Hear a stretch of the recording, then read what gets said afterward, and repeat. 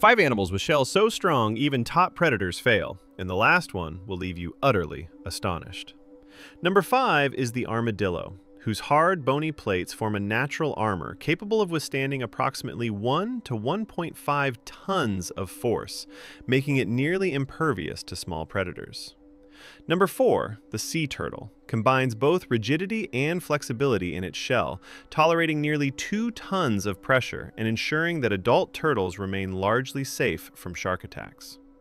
Number 3, the pangolin is encased in keratin scales as strong as steel, when it curls into a protective ball, it can endure up to two tons of force, leaving predators completely helpless.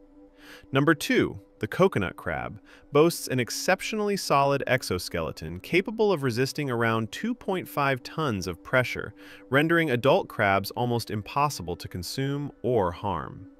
Finally, number one, the diabolical ironclad beetle though tiny in size, possesses a shell that can withstand forces 40,000 times its own weight, equivalent to approximately 3 tons of pressure, and astonishingly, it can survive even under the wheels of a car.